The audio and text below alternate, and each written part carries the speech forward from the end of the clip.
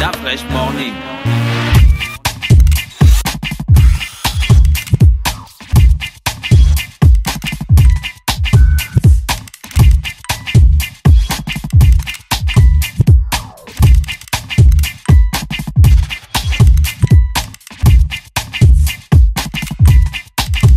UrbanFM.fm. Urban FM. Découvrez et apprenez Urban FM. C'est la première radio urbaine en Gabon. Urban FM, c'est aussi une équipe de jeunes dynamiques à votre écoute pour vous satisfaire. La recherche d'une qualité de son parfaite, de nouvelles techniques de communication. Urban FM, c'est une nouvelle manière de voir et de faire de la radio. Grâce à Urban FM, vous n'écouterez plus la radio de la même façon. Entrez dans l'univers Urban FM 104.5, la station urbaine. 104.5, 104.5, 104.5. Urban FM, Urban FM. Urban FM. Le réveil matinal le plus haut de la capitale sur la radio. La de la capitale. C'est reparti sur les 104.5 Urban FM, la station urbaine avec Mosley, Mosley, politique, encore politique, politique. Ben, ben, tu n'en veux plus? Non, moi j'aime pas la politique. Ah bon? Non. Ah ok, très bien. Peut-être qu'on va revoir les, les, les programmes. Non, moi j'aime pas, moi perso, pas. J'ai pas dit j'aime pas la rubrique, j'ai dit. la radio. Donc évidemment, c'est politique, il y a encore politique. La politique pas. n'est jamais les Mais sponsors. c'est la politique qui. euh, Parce Euh, que personne ne veut sponsoriser la rubrique parce qu'ils se disent Oh non, les choses que Moss l'a dit là, le jour où il, où il va mal parler du parti, on va dire que c'est à cause de moi. Le jour où il va massacrer. il y a la liberté d'expression, non? Mais quelqu'un ne peut pas prendre la, la responsabilité de sponsoriser la rubrique de Mosley. Mosley n'est pas contrôlable. Un temps il est à gauche, un temps il est à droite. Tu ne sais pas où Ah le situer. non, là tu parles mal de Mosley. Mosley c'est un analyste. Non, il est mais justement, un analyste, un analyste ne peut pas être contrôlable. Dans ce cas, si j'avais dit qu'il était contrôlable, là, je lui aurais mal parlé parce qu'il devait pencher un côté. Lui aussi, il, il tend directement, il, il, il n'analyse pas. Si tu n'es pas contrôlable, c'est que quand c'est bien d'un côté, tu dis que c'est bien. Le Non, jour mais le- c'est pas bien, tu dis aussi que c'est pas bien. Non, c'est contrôlable. Il y a les, il y a les, il y a les, il y a les, il y a des prescriptions qu'il doit respecter, qui sont contenues Dans la loi de la liberté Et d'expression. dans, et dans il- un contrat de, de sponsoring. quand Du même. genre, il n'insulte pas et tout Si ça. le mais sponsor- si le sponsor est si chaud. Le, si le sponsor. Si le sponsor ne veut qu'on parle que de lui, on ne parle que parle de de lui. lui. Pendant un mois, Mosley. Un mois, c'est quoi? Même, actualité même tout le, politique. toute la vie. moi. Même toute la vie, s'il paye, le sponsor paye la rubrique. Est-ce un appel au sponsoring euh, Bah oui. Ouais, ah ben c'est Ah, mais c'est vrai qu'en cette période d'élection législative, oui, hein. En c'est là où tu perspective, dois il y a ta des candidats qui se déclarent de plus en plus. Oui, c'est là où tu dois faire ta prospection, Mosley. Toutes les personnes qui Ah, veulent. il va faire euh, de l'économie politique. Hein? Tiens, de- Toutes les personnes. Venez, venez, Mosley, vous politique- faites de, de la Politique pub. business. Tiens, ben, c'est pas interdit de faire du politique Mais business. bien, bien sûr. Beaucoup de gens font du politique Bien. Mais quelqu'un qui se présente à Mebamen Daman, par exemple, pour être député de la circonscription de Mebamen Daman, pourquoi est-ce qu'il te prendrait La radio, c'est Libreville et ses environs? Non, mais Ben, il la radio a un relais. Il a la télé. La radio a un relais. Il passe à Télé Africa. À Donc, Meba tu Mendaman. t'adresserais Et puis on a la, le, bouche à oreille. Il y a le bouche à oreille. Mais sur le terrain aussi, il a de l'efficacité. Il peut faire un travail de terrain. Oui, non, et puis faire un, un rendu après. Et on a le bouche à oreille. Là, je suis en train de lui demander les actions On a également en le place, en téléphone arabe Hein? qui est là. Ah, le d'accord. Congo Donc, tu joues 5 aussi le là. rôle d'influenceur dans l'élection de- du gars de la Euh, circonscription. quelque peu, oui. Ok, tu d'accord. vois? Donc, c'est un tout en un, ton sponsoring que tu Politique proposes. business. Il faut, mais il faut créer un truc comme ça, mon gars. Tu, tu incites C'est les un hommes tout en politiques un. à, à communiquer, quoi. Ah, ok. Mais c'est pas interdit. Il y a beaucoup de gens qui travaillent Mm, pour des mm. cabinets politiques, surtout pendant les campagnes électorales, même, Ouais. en, même en temps normal. oui, quand il va juste pour la va- période. Mais On moi, est là on va le solliciter, on le sollicite. Par exemple, un chargé de la communication d'un homme politique. Il il- il n'est pas là pour la politique, il Non. est chargé de la communication, mais il, Il gagne fait son la pognon. com, dès que l'élection est finie, il peut partir. On t'a peut souvent sollicité, Mosley, donc tu vas aller, tu vas aider les. Bon, comme nous on est ton manager, comme Ivan FM te manage. Bah oui, mon frère, faut bien gagner du pognon un jour dans sa life. hein. Et. Mosley, qu'est-ce qu'il faut pour se présenter aux législatives? Euh, selon les dispositions actuelles, je faut pense avoir que ton âge. il faut avoir euh, quoi, on va dire 18 ans. Mhm. 18 ans désormais. Avant, c'était 25 ans. Mhm. Là, ils ont cassé la barrière de l'âge. D'ailleurs, c'est l'un des points importants, notamment quand on regarde un tout petit peu les articles en rapport avec euh, euh, le Sénat, notamment l'article 35. On a fait sauter le verrou de l'âge. Donc ça sous-entend que derrière, il y a une volonté de faire en sorte qu'un grand nombre de populations aujourd'hui euh, puissent euh, plus ou moins s'exprimer sur la plateforme politique, du moins l'environnement politique. Pour, Donc pour- juste l'âge. pour- Il y a d'abord l'âge, 500 000, non. ensuite il y a à peu près 500 000 francs qu'il faut... Non remboursable. Bon, maintenant, ils ont, je crois qu'ils ont baissé, ils vont, ça va peut-être revenir à 250 000. Pour être député. Après les 500 000. Oh là là, Seigneur Jésus. Mais non, nous tous, on va se présenter. Après les 500 000, il y a quoi d'autre? Après les 500 000, après, Il faut tout- avoir un plan il y a de, tout le de- de circonscription. Bon, en réalité, il faut, il faut, faut faire un chapelet de, pro- de, de- on va- de propositions par rapport à ce que tu entends apporter aux populations. Quand je dis entends, c'est-à-dire les combats que tu devrais mener, parce qu'en réalité, le, le député ne n'est pas pour transformer, la, la- c'est pas lui qui développe la, la localité, c'est il est là pour défendre les intérêts de la localité. Donc à ce moment-là, tu t'inscris dans une logique, tu dois d'abord identifier les points forts et les points 18 faibles de ta révolus. circonscription, 500 000. une stratégie. Une stratégie. Voilà. D'accord. Tout ça, c'est euh, jouable. Ensuite, vous mettez tous les gadgets qu'il faut. Donc, il faut le buzz. Ben, bien sûr. Ok, ça fait Voilà. 4. Et, Et euh, on choisit la circonscription, par exemple, disons euh, que je me présente. et pour au Gabon, pour Je être- dois repartir dans ma province? Pour- pas nécessairement. Au Gabon, il faut, il y a, on va dire, trois, deux critères euh, fondamentaux. Tôt, tôt. Il y a évidemment le premier, Il y a les c'est d'avoir d'un côté un enracinement euh, familial quelque part. Non, ça c'est Eh plus. ben, Les Gabonais, on a des. Non, on a c'est ça toujours- Ça n'existe plus, ça. Oui, c'est- mais c'est toujours, c'est toujours euh, en vigueur même sur le plan spirituel, un enracinement. Ensuite, il faut avoir de l'intérêt économique euh, euh, euh, quelque part, dans un investissement. Ou euh, en on peut trouver un troisième critère, c'est celui de, euh, du lieu où on est établi. Où on est établi, où on se développe. Donc, on peut avoir une activité économique, par exemple, en Toum, et ne pas résider en Toum, mais résider au troisième arrondissement de Libreville. Donc, il y a toutes ces, il y a tous ces facteurs-là permettent à ce qu'on puisse bénéficier de. Comment Il y a les députés de Libreville. Bien sûr, il y a 1000 députés, il y a 1000 députés, il y a beaucoup de députés à Libreville en fonction a- des arrondissements. mais il y a 120 pas Il y a 1000 120 députés. députés C'est une à façon de parler. Bon. Bon, c'était parle-nous de la révision constitutionnelle. Attends. Non, mais regarde son temps passe. Ces préoccupations sont quand même importantes Je la veux me population. présenter, l'Afrique. Ah, d'accord. Parce qu'il a dit, il a dit 18 ans révolus, c'est bon, j'ai. Il a dit 500 colos. Là, on peut, on peut faire un truc. 500 colos, les gars. 250 maintenant. Après, il a dit, 250 bon, à peu près, 250. je crois. Bah, tu as vu, c'est encore plus jouable. Après, il a dit qu'il faut avoir une stratégie. On prend une, on prend une journée de travail ici, on a la stratégie. Après, il a dit, il faut le buzz. De Mais la fraîche, le buzz, quel c'est est le, quel est le, quel est le, quel euh, il y a un truc qu'on apprend. député. Il y a un truc qu'on Pardon. apprend en droit public là. Je ne sais pas si les députés sont responsables devant la population ou devant l'Assemblée nationale. Euh, crois. responsable. Genre, euh, ils doivent rendre des comptes. Doivent rendre des comptes à leur électorat. D'accord, ils rendent Oui. des comptes à leur électorat. Ce ne sont pas des comptes en tant que tels, mais c'est beaucoup plus la possibilité pour les députés, sinon le droit, le devoir pour les, députés de faire des restitutions euh, des sessions parlementaires. C'est-à-dire que quand vous avez fini une session parlementaire, il faut, être, il faut repartir vers vos électeurs pour dire, nous, au cours de la première session, on a fait ça, ça, ça, ça à l'Assemblée nationale. Voilà ça, ça, là où ça doit nous amener. Voilà ce que nous, on attend du gouvernement. Et euh, dans quelques temps, vous verrez que ça va commencer à tel moment, ainsi de suite. Donc, tu restitues les travaux des, sessions parlementaires. C'est la, la- la plus grande responsabilité que les députés ont. Mais est-ce qu'un député de mon, mon coin là, ça s'appelle encore comment? Le coin où j'aime partir, que j'aime là. Euh, La euh, Bricolo. Oui. Le député de la Cébré Bricolo, il vit dans la Cébré Bricolo ou bien il doit vivre à C'est Libreville pas une obligation. en réalité. Qu'est-ce qui n'est pas une- Ce n'est pas une obligation. Étant donné que le siège de, de l'institution se trouve à Libreville, Mhm. un député peut convenablement choisir de vivre à Libreville pour des besoins, pour des. Et euh, comment il connaîtra les réalités de ces populations Les Mais populations de la Maintenant, il faut qu'il trouve un moyen de, de temps en temps faire le déplacement de sa circonscription, faire des tours. C'est pourquoi les sessions parlementaires, euh, la- restriction des sessions parlementaires est importante parce que ça te permet à nouveau d'aller prendre langue avec tes populations qui ne t'attendent pas seulement au moment des élections. Voilà. N'ai- Tu n'as pas d'autres questions? J'ai envie de me présenter. Donc, euh, euh, chers Tu auditeurs, veux te présenter? Qui est député de la, qui est député de CB Bricolo? Bon, je connais un seul, c'est le ministre actuel. Je crois, il est, est-ce qu'il est député? Je sais pas. Mosley, dois-je appartenir à un parti Euh, politique? Au Matungo, au, au, au Sibadjo. Ah, oh non, le grand, non, c'est plus. Mosley, dois-je Euh, appartenir à un aussi, parti euh, politique? Pontungue également doit être député, je sais De pas. la CB Bricolo. Je ne les connais pas. Dois-je la appartenir à un parti politique? Ah, Ce sont des rivières, oui. c'est la CB et la Bricolo.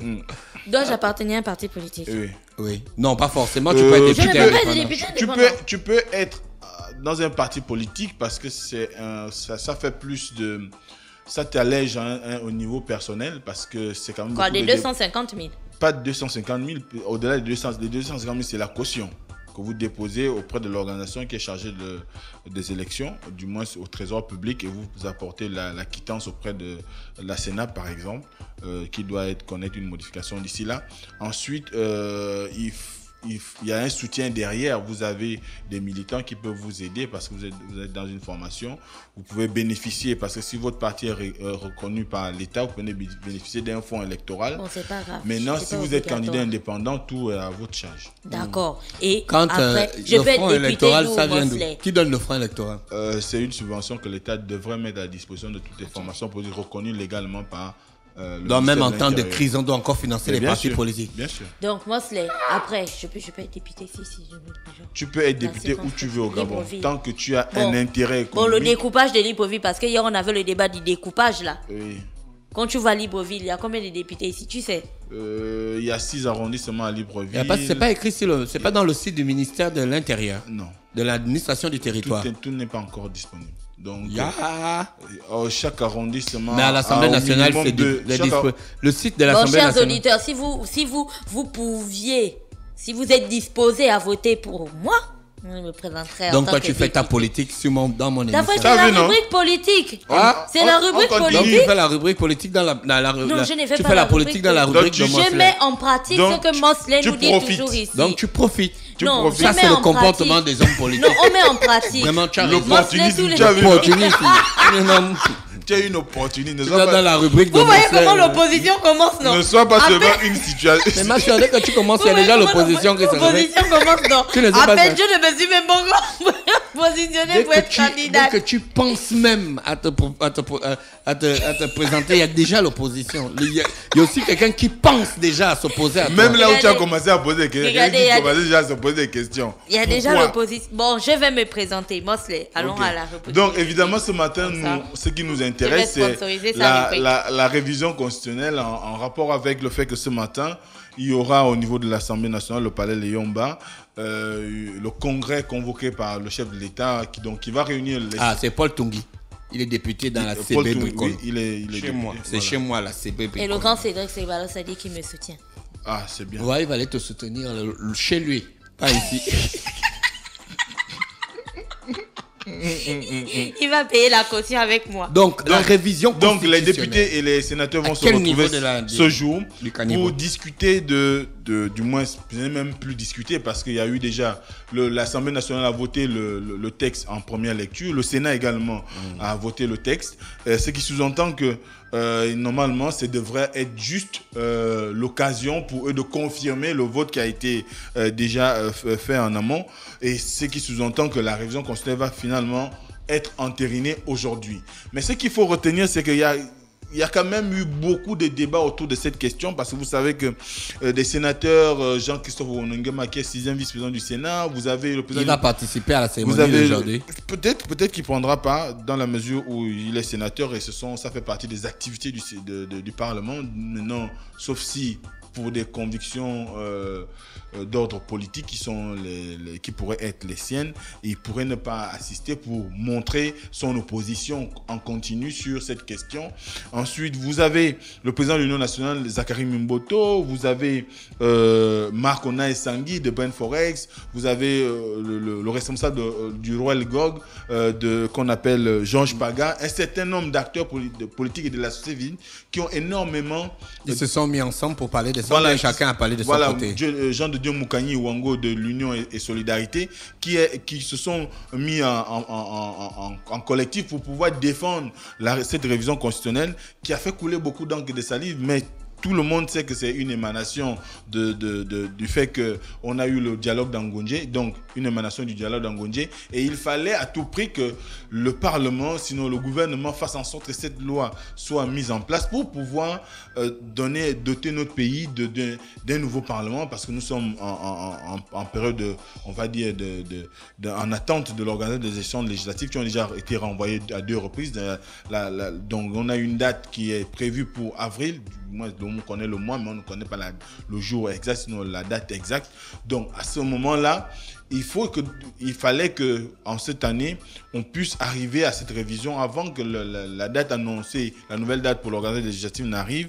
Et quand beaucoup de personnes entendaient l'opposition parler ça et là, ou encore on n'a pas suffisamment entendu les membres de la majorité faire le, le tour des plateaux de télé et radio, ou encore essayer un tout petit peu de passer dans la ville pour organiser des causeries allant dans le sens d'édifier les populations sur cette question, eh ben, il y a d'abord ce qui est le plus important et ce qui peut-être cré- a créé ce- cet amalgame ou cette incompréhension, c'est l'article 8 de la Constitution, parce qu'il faut savoir que le titre 2 euh, de la Constitution, notamment euh, qui traite du pouvoir exécutif, euh, grand 1 du président de la République, article 8, et dans cet article, la modification, la nouvelle, du, du moins le nouveau, l'article 8 nouveau dit ceci. L'ancien disait quoi d'abord? Ok, je, voulais faire un parallèle rapidement. Le- L'article 8 ancien disait ce qui suit selon la constitution de 2003 que j'ai en ma possession. Euh, il disait, le président de la République est chef de l'État, il veille au, au respect de la constitution, il assure par arbitrage le fonctionnement régulier des pouvoirs publics ainsi que la continuité de l'État. Il est le garant de l'indépendance nationale, de l'intégrité du territoire, du respect des accords et des traités. Il détermine en concertation avec le gouvernement la politique de la nation. Ensuite, dernier alinéa, il est le détenteur suprême du pouvoir exécutif qu'il partage avec le Premier ministre. C'est cette partie, c'est cet alinéa en réalité qui a donné la possibilité à l'opposition de trouver du grain en moudre parce que l'article nouveau, qui, bien sûr, tenant compte des premiers aspects que j'ai cités, euh, notamment l'alinéa euh, premier, partage. 2, 3, la- le- il dit ceci, le, le, le président de la République est le détenteur suprême du pouvoir exécutif. Point. Point. Il ne partage plus. Il ne partage plus avec le Premier ministre. C'est en ce qu'on dit que ça va devenir une C'est monarchie. d'abord un point important qui fait dire Non. à l'opposition, Est-ce que c'est en ce que ça dit que c'est devenu la monarchie? Premièrement, oui. D'accord. C'est- C'est c'est parce que le chef de l'État ne devra plus partager le pouvoir En fait, les exécutif gars là, ils font dans la diversité. avec le Premier ministre. Mais cela, quand même, cela se cache quand même peut-être un certain nombre de choses. Si le président de la République ne partage plus le pouvoir avec le Premier ministre, est-ce qu'il faut s'attendre à ce que Est-ce que le dans les jours à partage- venir, on n'ait plus un le Premier ministre en partage- République gabonaise Est-ce que sur le plan de la coutume euh, constitutionnelle ou sur le plan des pratiques constitutionnelles, le président partageait réellement avec le Premier ministre Oui. Jamais. le Comment Premier ministre au Gabon n'a pas le pouvoir comment ce réglementaire.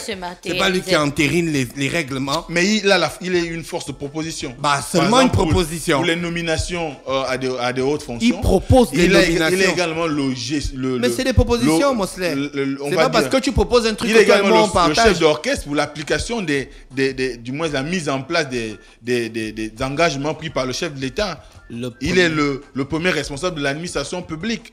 Donc, quelque part, il Mais gère. il va quand- toujours être, il va toujours être ça. Sauf qu'il ne va jamais rien, il va pas, il va pas. Mais comme avant, puisque ce partage était fictif avant. Étant donné que le premier ministre n'avait jamais un réel pouvoir réglementaire. Donc là, il ne l'aura même plus. Voilà. Voilà. Et puis Mais- l'affaire est réglée. Mais ça, ça pourrait laisser croire que, en disant que le, le président de la République ne partage plus le pouvoir avec le. en fait, leur le- problème, le hein, Premier ministre, est-ce selon que- mon entendement, Oui. Leur problème c'est que si le PDG n'a pas de, euh, par exemple, on appelle ça comment, n'a pas de Majorité à l'Assemblée. nationale, Mm. ils se disent que bon, étant donné que euh, on doit prendre le premier ministre hein, dans le groupe, le, plus- le- le groupe majoritaire. Dans- chez non, les vainqueurs. chez les vainqueurs, le premier ministre ne pourra pas travailler. C'est ça, peut-être.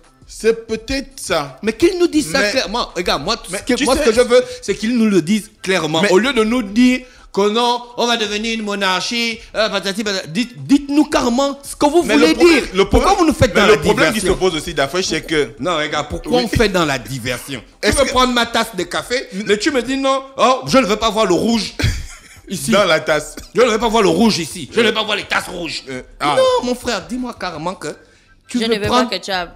Tu veux, tu veux prendre ma tasse de café? Ne m'amène pas une autre histoire.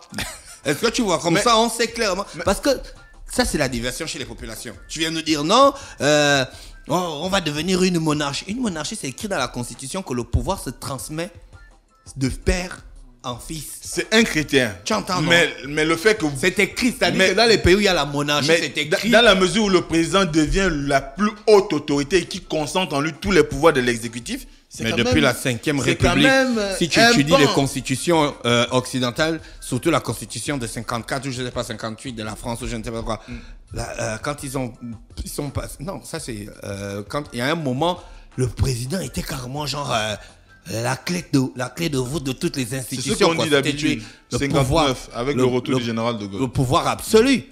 Est-ce que ça a empêché le fait que euh, la, la France a évolué?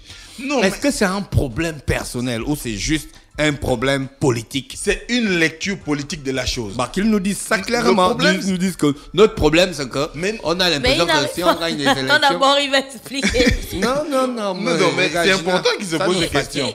Ça fatigue les gens. Le- le- Sérieusement, c'est- pas la blague, hein. c'est- ça nous fatigue. C'est, c'est, c'est- Tu viens me dire que non, le Gabon va devenir une monarchie alors que tu sais que dans le fond que ça ne va pas l'être. C'est juste parce que tu te dis que si tu gagnes, tu n'auras pas l'opportunité de faire ton cinéma comme tu veux. Mais d'après, quand même, à un moment donné, ça cache quand même un certain nombre de choses, comme je le disais tout à l'heure. Ça cache la on- monarchie. on ne peut pas, non pas la monarchie, mais Ah, d'accord. le fait qu'on peut se sentir trop fort et écraser même le, le camp de la majorité. Parce que, en réalité, quand, si tu parles du, du cas d'espèce où on pourrait avoir une cohabitation, si on a une cohabitation, il faut que le Premier ministre trouve, on trouve un jeu qui pourrait faire en sorte que le Premier ministre et le Président s'entendent Bah, sur l'exécution Bon, de la vision du chef de l'État, mais également du programme politique du parti Toi-même. qui devient majoritaire à l'Assemblée nationale. Toi-même Mais- dans toi-même. Oui. Vu toi-même analyse politique, qui fait souvent l'analyse politique. C'est pas tu te plains toujours de la de la de, de l'institution qu'on appelle euh, prématurée. Oui, Bon, maintenant, à ce moment, si on veut un président qui travaille, exemple, hein, moi, je ne suis pas un homme politique, tu vois, j'essaie d'imaginer, si on veut un président qui travaille réellement, que dont, dont son action n'est pas sapée par le gouvernement, parce qu'on constate, et tout le monde est d'accord dans ce pays, que le problème de notre pays, c'est le gouvernement qui ne travaille pas. Donc, si le président veut travailler, il doit avoir tous les pouvoirs. C'est un exemple. hein. Maintenant, vous les spécialistes qui nous écoutez, Maintenant- la radio est ouverte à, pour Voilà. venir euh, nous éclaircir. Maintenant, le, le problème, je crois, qui se pose, c'est que si on doit faire en sorte que le président devienne euh, le, on, va, on va dire, Le le, métronome. le cœur même de, De de, Cubes. de- de toutes les décisions, et, euh, il faut qu'on le dise clairement également dans la loi. Parce qu'on ne peut pas laisser des, des sous-entendus. Soit on va dans un gouvernement pré- purement présidentiel, ou on reste dans le gouvernement semi-présidentiel avec le fait que la majorité qui se dégage au Parlement, c'est elle qui doit mettre en musique la politique de la nation. Mhm. Donc, quand on décide de donner tous les pouvoirs au chef de l'État, quelque part, comprenez qu'en dé- en démocratie et dans le, le débat politique, Mais les ça pouvoirs puisse, qu'a le ça pouvoir, puisse susciter les un certain pouvoirs- nombre de les réactions. Mhm. pouvoirs qu'a le chef de l'État sont déterminés et encadrés par la loi. Oui. Et la loi est votée par le Parlement. Oui. Le Parlement a toujours des moyens de recours pour empêcher le président d'abuser de son pouvoir. Mhm. Mais Comme sauf- avait dit monsieur euh, Voranjami ici, celui qui a le pouvoir est porté à en abuser. hein. Mais sauf donc, que le- le cela, il va président a le joker le plus important. Arrête. Ah non, le grand est fort. quoi. Hein, Sauf que le président... Le Comme pré- le disait Montesquieu.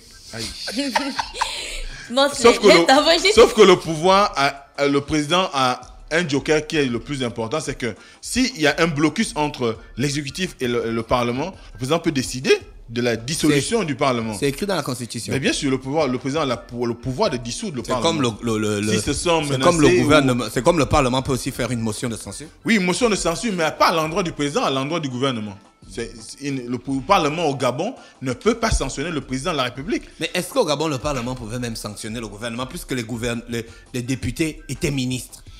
À quel niveau vous pouvez vous sanctionner Non, pas que les députés étaient ministres, c'est pas tous les députés qui sont ministres. La mais- majorité des députés. pas la majorité. C'était une pratique- C'est parce qu'ils C'était sont, une pratique parce politique, qu'ils sont non, de la être- même coloration. être- le- le, le, le Parlement Mais aujourd'hui. c'est du désormais moins, interdit, non Le le Parlement. cumul, euh, cumul. le cumul des postes. Non, c'est pas à ce niveau. C'est sur, c'est- c'est sur, c'est sur le. Tu es dans Non, machin. je C'est dis quand tu es député Oui. et que tu es ministre aujourd'hui, Toi est-ce que c'est encore si tu es possible? député, tu ne peux pas Mais c'est ce que je dis, donc c'est plus possible. Non, Gina, si tu es député, toi tu peux être ministre. Mais si tu es député, tu ne peux plus être Toi, maire. c'est Uber les fesses. Voilà, parce qu'on avait à l'époque des députés maires. Quand tu cumules la- Donc on ne peut pas être député. D'après ça, n'arrête- je ne suis quand pas. tu cumules, qui mais je ne suis pas dans des domaines qui vont se clasher. Pub. Yali. Je ne suis pas dans Fresh domaines morning. qui vont se clasher.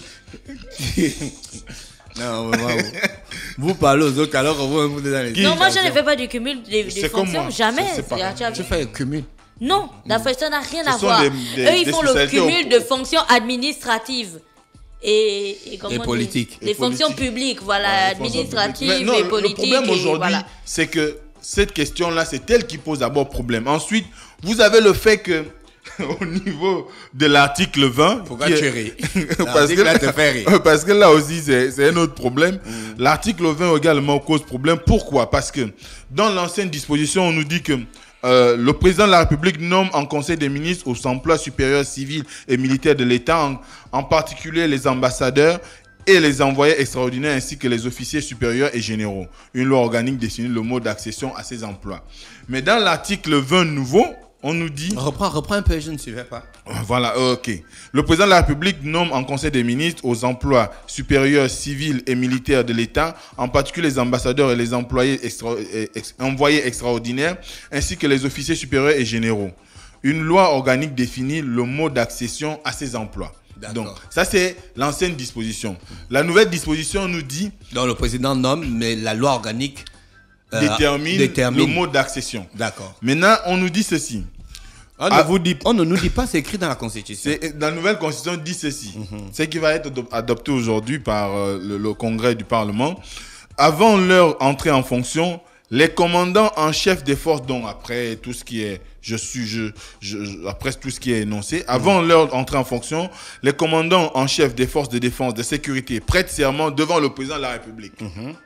Ça, pour eux, c'est une allégeance. D'accord. Pour l'opposition, ça passe comme une allégeance au pouvoir, euh, au pouvoir exécutif, donc au chef de l'État, et c'est une subordination de l'armée qui a vocation à être une armée nationale chargée de pouvoir défendre et de, de sécuriser le pays. Bon. À ce moment-là, ça cause problème dans l'opposition. Je continue. prête serment devant le président. Le président de la République. Est-ce que c'est écrit prêter serment? C'est là. Ils font allégeance ou ils prêtent serment? Ils disent, avant leur entrée en fonction, les commandants en chef des forces de défense et de sécurité prêtent serment devant le président de la République. Je continue. Avant leur quoi, entrée en fonction, Prêter serment, je jure de je bien faire jure, mon de, travail. je jure de faire Oui, mon non, travail, en d'être fait, je- je fidèle, et ainsi de je- suite. Non, je, jure de bien faire mon travail. Le travail une que vous m'avez confié. Oui, il y a une différence entre prêter serment et porter allégeance. Mais pas? ça, c'est ça c'est au niveau, ça sont pour les Ça, opposants. c'est les analyses. Pour les, pour les opposants, on est dans le jeu de mots, que c'est le jeu de mots que tu veux faire. Pour eux, c'est clairement dire que vous êtes mes subordonnés, c'est moi qui vous commande, vous faites ce que je Ah, dis. ben, le président, il commande tout le monde dans n'importe quel pays Prêter du monde. serment dit s'engager solennellement devant l'autorité compétente Ah. à dire la vérité ou à remplir sa mission selon les règles. Ça, c'est... Ça, c'est prêter serment. Donc, c'est que tu viens là seulement t'engager que tu faire respecteras ta, mi- ta Tu mission. es sur Google. Google. Non, il n'y a pas de faire allégeance, c'est pas écrit. Elle cherche aussi le. Ah, le- ah, le tu cherches terme. le mot faire Ouais. allégeance. On va Donc, chercher faire allégeance. On continue. Avant leur entrée en fonction, les, les promus aux emplois supérieurs civils de l'État, les ambassadeurs ainsi que les employés extraordinaires prêtent serment devant la Cour de cassation. D'accord. Oui, Gina, Cour de cassation. tu as trouvé la Donc, définition? Oui. Faire allégeance, c'est l'obligation de venir, euh, c'est l'obligation de porter, d'avoir de la fidélité et de l'obéissance qui incombe à la, de- qui incombe à une personne envers la nation à laquelle elle appartient ou le souverain dont elle est sujette. Donc cette personne, c'est que à ce moment précis, quand tu viens, tu jures devant ton souverain que tu lui seras ad vitam, ad vitam aeternam fidèle jusqu'à ce que voilà mort s'en suive c'est ce qui se passait chez les rois Donc, avec Henri et c'est machin complètement c'est deux choses À différentes l'analyse des deux définitions Voilà. que tu viens de lire. est-ce c'est que- deux choses différentes Mais il y a quand même un terme qui est commun. D'accord. Je jure. C'est écrit dans, dans Je, allégeance, tu c'est écrit jures, je tu jure. jures de faire Non, non, allégeance. ne dis pas un terme commun. Tant qu'on n'a pas cité le terme, ne faut pas venir dire qu'on a dit ça. je- Ce sont des interprétations. N'interprète pas, mon frère. pas. Ah, tu interprètes les quoi définitions. Est-ce que tu es interprète Non, Ce qu'il faut dire, c'est que Tu es un dans analyste. Mais tu analyses les faits. c'est tout ça. Moi, je me mets, je me mets dans l'explication de ce qui fait aujourd'hui débat. Tu te mets dans l'explication de l'opposition. Oui, c'est ce qui fait débat. Que- C'est-à-dire que pour eux, il n'y a pas de différenciation entre ces formules parce qu'ils trouvent que faire allégeance au chef d'État ou encore prêter serment. devant le président de la République, pour eux, c'est subordonner l'armée ou encore les forces de sécurité à l'action du chef d'État. quand Donc, à un dans la donné, Constitution, c'est écrit que le président est le chef des forces armées. Ça veut dire que c'est lui qui commande l'armée? Est-ce que c'est nouveau dans la Constitution? c'est pas nouveau. Bah alors, donc on veut juste avoir des gars qui disent que bon, Sauf que c'est la, la, la, la manière de dans les procéder grands qui pays, dans les grandes démocraties, qui a, la- qui appuie le bouton rouge? Euh, le Pyong- président. le bouton rouge des États-Unis est beaucoup plus gros que le bouton rouge de Pyongyang. Et surtout, le bouton rouge des États-Unis, il fonctionne. C'est ce, que, c'est ce que Donald Trump il a dit. C'est le gars. Donc à ce moment-là, vous comprenez que Yeah. ce qui se passe en réalité, ce sont des jeux de mots, ce sont des, réflexions autour euh, de, comment adhérer la population ou fédérer la population autour de ce que nous, nous avons comme ambition. Et malheureusement, bon, ce qui se passe, c'est qu'on est dans une phase où l'opposition a passé tout le temps à décrier, mais sans réellement aller dans le sens de réel de bien expliquer aux populations ce qui se passe, de bien dire comment euh, la, la loi est structurée, mais également, comme je l'avais dit une fois ici, le véritable problème qui se pose chez nous, c'est que ceux qui sont dans la gestion au quotidien de l'État ne font pas suffisamment d'efforts pour pouvoir anticiper sur un certain nombre de réactions qui pourraient s'installer au- au- dans- chez les populations parce que quand les opposants sortent, ils disent nous sommes en voie de la monarchisation. Moi, je vois ici un certain nombre d'articles qui ont été pris en compte, euh, du moins qui ont été modifiés, mais dont l'aspect est que l'ancienne disposition existe. On ouvre, les, gui- on, on- on ouvre les guillemets, on fait trois points de suspension, on referme les guillemets et on, propose la nouvelle formulation par rapport à un alinéa. Mais on n'explique pas ça aux gens. Moi, nous, quand on regarde en tant qu'observateur en, en tant- de la vie publique ou de la vie politique dans notre, dans, dans notre société, on se rend bien compte qu'il faut que de plus en plus, ceux qui ont la possibilité d'avoir les armes qui leur permettent de mieux instruire les populations sur des questions de droit ont le devoir aujourd'hui de pouvoir s'exprimer. Mais malheureusement, ils ne sont pas toujours en main, à- du moins ils ne sont pas Mais- toujours mais- amenés à remplir cette exigence après, sociale. après l'adoption de cette constitution, le président il pourra plus se départir de ses responsabilités. Il ne pourra plus. Il ne pourra plus. C'est la chance. La chance, c'est que désormais, les gens prendront le, responsable président au mot. de la vision du pays. S'il nomme des gens à des responsabilités et qu'ils échouent, ce sera de sa faute. Uh-huh. S'il prend un engagement et qu'il ne remplit pas les conditions, on ne dira plus que c'est le gouvernement qui ne fait pas son travail. Mm-hmm. C'est le président de la République qui ne sait pas à qui il confie réellement les- les- les- l'exécution Les des, des- des- des engagements qu'il aura pris. Donc à ce moment-là, Bah, mais là, la prison va se remplir. hein. ben, qu'elles se remplissent, mais que de plus en plus aussi, nous soyons beaucoup plus inscrits dans cette logique qui- qu'il a annoncée euh, à nouveau au, ni- au- au moment du discours à la nation en disant que il faut que désormais nous prenions en compte la méritocratie, du moins le mérite, pour pouvoir faire en sorte que des gens qui sont capables d'implémenter un certain nombre de, de, de, de- de promesses du chef de l'État soient ceux-là qui, euh, qui méritent, pas des gens parce qu'on est amis, on est cousins, encore que je n'ai pas de problème avec ces, ces questions-là, mais pour peu que ces personnes qui sont, en qui on fait confiance aient des compétences qui leur permettent de pouvoir faire valoir leur, leur savoir-faire, leur euh, expérience, cela aiderait un peu plus aux- aux- les populations à avoir une meilleure lecture des politiques publiques dans notre pays. Donc là, c'est bien de réclamer qu'on vous donne les pleins pouvoirs. Il faut maintenant que, en ayant ces pleins pouvoirs Voilà. là, Quand tu dis c'est bien de je réclamer. dis au niveau de, de- de ceux qui ont mis en place la, la Constitution. Voilà.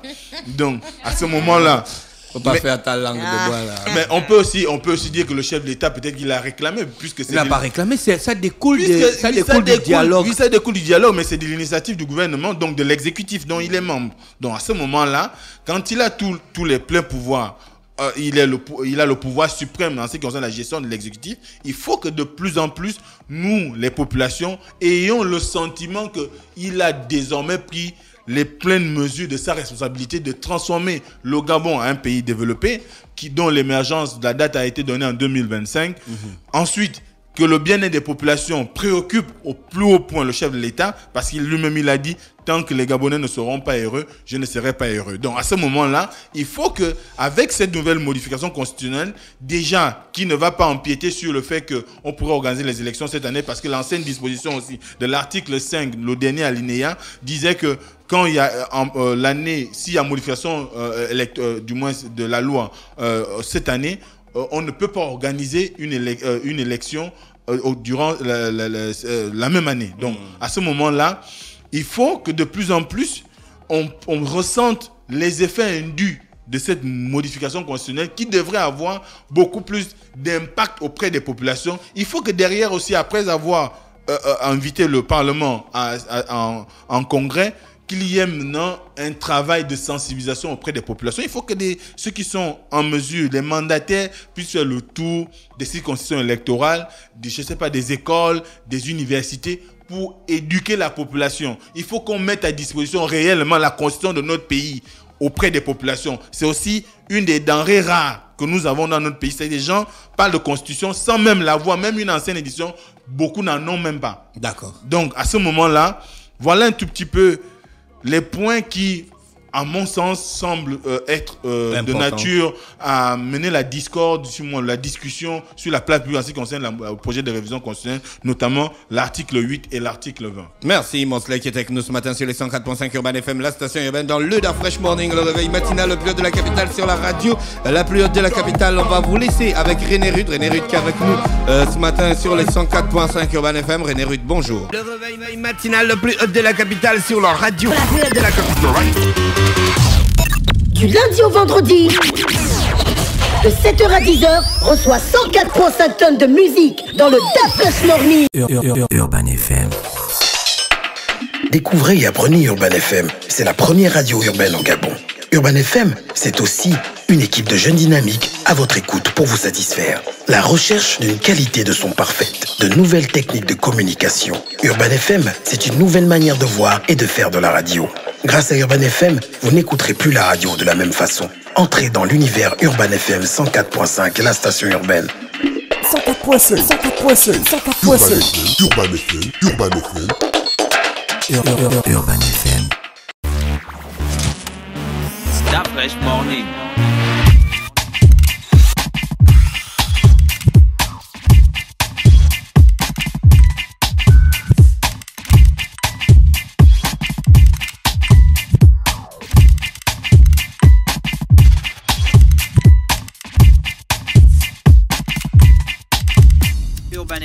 fm.fm.